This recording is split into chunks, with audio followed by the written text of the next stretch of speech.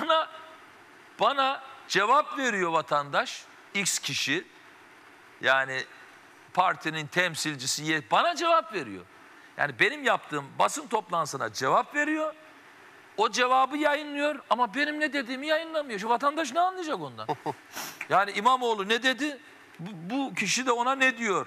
Yani bunu göster de vatandaş bir şey anlasın.